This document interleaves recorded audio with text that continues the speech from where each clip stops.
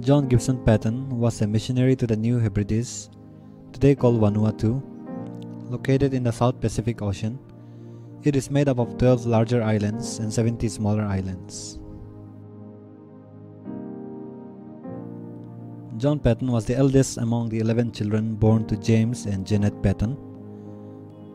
He was born on 24th May 1824 in Dumfriesshire, Scotland. John and his siblings were among the many privileged children who were born to godly parents. Until the age of 12, John attended the village school, and his early years were marked by struggle against poverty.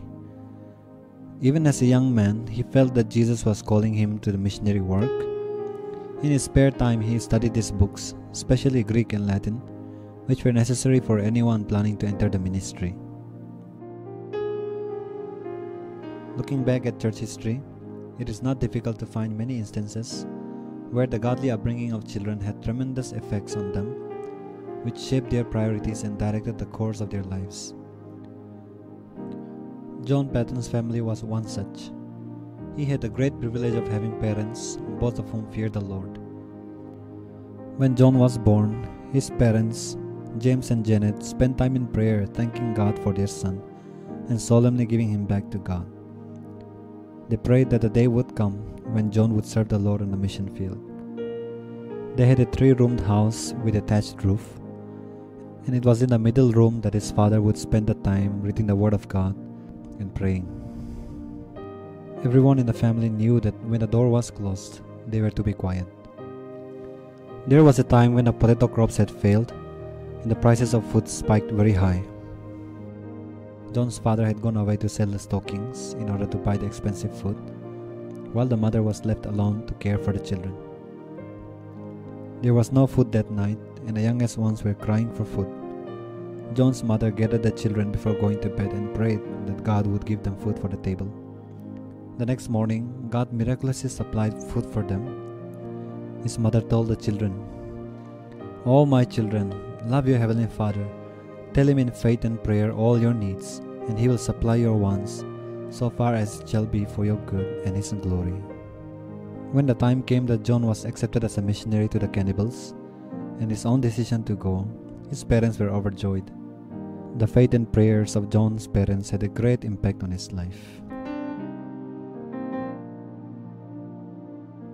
As John was working in his father's business, he saved all the money he could so that he could continue his studies.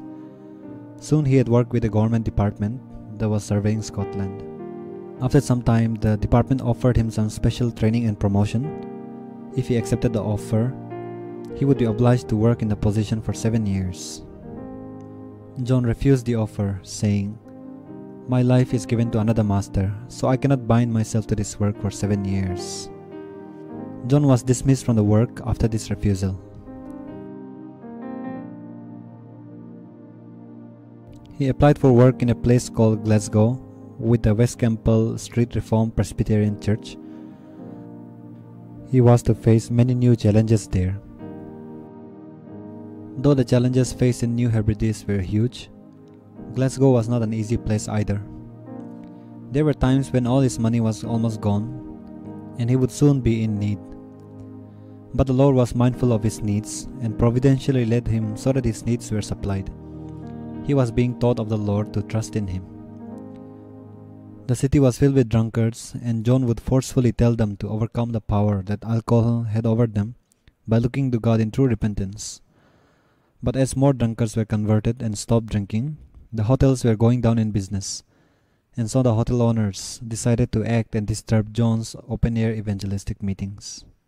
John also had to deal with nominal Christians in the area. Many wrote hateful letters to him Others threw stones and boiling water over him as he walked along the streets. He also had to face criticisms from respected elders on his decision to go to the New Hebrides. An old man told him, The cannibals, you will be eaten by cannibals. John responded to him, saying, I confess to you that if I can but live and die serving and honoring the Lord Jesus, it will make no difference to me whether I am eaten by cannibals or by worms. And in a great day my resurrection body will rise as fair as yours in the likeness of a risen Redeemer. John was in Glasgow for 10 years as a city missionary and saw many converts during this period of time. He also continued his studies and also spent time studying medicine, knowing that one day he would be able to use all of his God given skills serving the Lord Jesus Christ on the mission field. John and his friend Joseph Copeland offered themselves as missionaries to the New Hebrides. They passed their examinations and both were ordained as ministers of the gospel on 23rd March 1858. John had married a godly woman named Mary Ann Robson. She also had a desire to serve the Lord on the mission field and was overjoyed that she and her husband would soon be on one of the islands of the New Hebrides. So John, Mary, and Joseph sailed for Australia on 16 April 1858. They gradually saw the shoreline of Scotland disappear, and on 30 August 1858, they stepped onto the soil of the New Hebrides for the first time. They were not the only missionaries on the New Hebrides. John Geddie and John Inglis were already laboring in some islands, and they saw amazing fruit of their labors. Around 3,500 savages threw away their idols, renouncing their hidden customs, and avowed themselves to be worshippers of the true Jehovah God. It is said that when Geddie died in 1872, all the population of Aneityum was said to be Christian. These fruits were also a great source of encouragement for John Paton to go as a missionary himself to the New Hebrides. The reality of the challenges and the painful trials were soon to come into the lives of these missionaries. The first sight of the cannibals horrified John. The men were naked with brightly painted faces. They carried an axe or a spear or a club wherever they went and were ready to fight at a moment's notice. The women only wore grass skirts with necklaces and earrings made from shells. John even wondered if he should have stayed in Scotland and served the Lord in Glasgow. However, he knew that these poor natives urgently needed the gospel of salvation. Tanna was the island in which John wanted to establish a settled work, and so he went ahead with other missionaries for necessary preparations, leaving his wife Mary behind. Mary joined John on Tanna on 5th November 1858. She was with a baby in her womb. After she reached Tanna, she wrote to her parents saying, I have never seen such a lovely spot.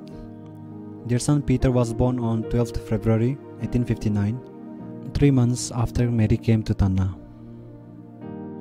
But sadly, Mary fell ill, and after suffering for two weeks, died on 3rd March 1859, just four months after she reached Tanna. Before she died, she confessed to Joseph Conrad, You must not think that I regret coming here. If I had the same thing to do over again, I would do it. I do not regret leaving home and friends. So John dug his wife's grave and laid her to rest. Two weeks later, their son Peter also died. John laid his little body to rest beside that of his mother. John wrote the following words of this heartrending experience in his diary. Then, in a moment, altogether unexpectedly, she died on March 3rd. To crown my sorrows and complete my loneliness, the dear baby boy, whom we had named after our father, Peter Robert Robson, was taken from me after one week's sickness on the 20th of March.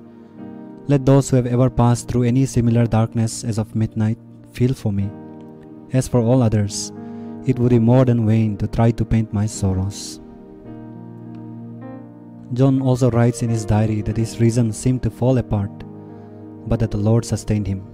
He said, My God and my Father is too wise and loving to make any mistakes in what he does.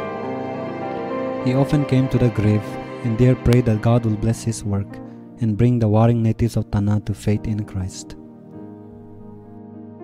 These were not the only difficulties that John had to face in Tanna. The natives wanted nothing to do with John's God and the sinner's Savior, Jesus Christ. John and his God were always blamed for anything wrong that happened. An old chief named Nowat left Tanna for his home, but he fell ill and died. The chief's brother returned to Tanna and accused John of being responsible. The chief's brother also fell ill, and the natives blamed John's God for that sickness also. Many meetings were often held where they decided to kill John. John also had to face the painful experience of losing his missionary friends and also natives who were converted. Some of the missionaries were killed by the natives, while others died of disease. One of John's Christian friend named Namuri was attacked by the tribals twice. In the first attack, John could treat him, but in the second attack, he died also. There are countless other challenges that John always faced in the missionary station. Such were the harsh realities for John as a missionary. The apostle Paul says in 2 Corinthians chapter 1 verses 3 through 5, Blessed be the God and Father of our Lord Jesus Christ, the Father of mercies and God of all comfort, who comforts us in all our affliction, so that we may be able to comfort those who are in any affliction, with the comfort with which we ourselves are comforted by God. For as we share abundantly in Christ's sufferings, so through Christ we share abundantly in comfort too. The challenges and sufferings in the life of John Paton were manifold, but even so were the comforts with which he was comforted with. The warmth of God's love and his continuing assurance of his love and protection enabled him to joyfully endure the great trials and commit the work into his Father's loving hands. One night, as John and another missionary, Mr. Mathieson, were sleeping, they were woken up by his dog Clutha. The natives had come to kill them and had already set the fence on fire. Soon there came a roaring sound of tornado. The flames were blown away from the buildings, and the heavens opened and the rain began to fall. The natives were quiet. They called out, This is Jehovah's rain. Truly, their God is fighting for them and helping them. Let us all get away from this place. There was another night when John was being chased by hundreds of angry natives hunting for his life. The chiefs advised him to climb a tree and to hide, and though he was perplexed, he felt it best to obey. So John climbed up and hid himself in the tree at the mercy of unreliable chiefs. He wrote of this experience in his diary in the following words The hours I spent there live all before me as if it were but of yesterday. I heard the frequent discharging of muskets and the yells of the savages. Yet I sat there among the branches, as safe in the arms of Jesus. Never in all my sorrows did my Lord draw nearer to me and speak more soothingly in my soul than when the moonlight flickered among those chestnut leaves and the night air played on my throbbing brow as I told all my heart to Jesus. Alone, yet not alone. One of the promises that was very dear to John Paton was the promise in Hebrews 13:5. I will never leave you nor forsake you. There came a point where it was too dangerous to stay in Tanna for his own life and the life of others with him. He wanted to stay in Aneityum and continue translating the Bible to the native language, but friends urged him to go to Australia. During this period, he raised support for local missionaries in the islands. He also went to Scotland and had many preaching tours, encouraged many and raised support for the work in New Hebrides. He was also invited to preach by the great preacher Charles Spurgeon in the Metropolitan Tabernacle. Charles Spurgeon introduced him to the congregation as King of the Cannibals. During his time in Scotland, he met Miss Margaret Whitecross, a fine Christian lady who, with her family, had great interest in mission work. John and Margaret were married in Edinburgh in 1864. John and Margaret returned to the New Hebrides in an island called Aniwa one of the most joyful days was when on 24th October 1869, about 180 attended the worship, where the Lord's Supper was dispensed to 12 islanders. John was overjoyed to see people who once had been murderers and cannibals sitting at the Lord's table and taking communion. It made all the missionaries' hard work worthwhile. John and Margaret continued to labor for the Lord in Aniwa. John learned the language and reduced it to writing. Margaret taught a class of about 50 women and girls who became experts at sewing, singing and plaiting hats, and reading. They trained the teachers, translated and printed and expounded the scriptures, ministered to the sick and dying, dispensed medicines every day, taught them the use of tools, held worship services every Lord's Day, and sent native teachers to all the villages to preach the gospel. After 15 years of service in Aniwa, there came a time for John and Margaret to leave the island and become roving ambassadors for the mission. John traveled in Great Britain to encourage support for the work in New Hebrides. He also continued the translation of the scriptures for the people of Aniwa and made several visits. He and Margaret settled down in Melbourne, Australia. Looking back over his life, he wrote, Oh, that I had my life to begin again. I would consecrate it anew to Jesus in seeking the conversion of the remaining cannibals in the New Hebrides. But since that cannot be, may He help me every moment to carry on that beloved work. Margaret died in 1905 and John passed away in 1907. He was 83 years old when he died.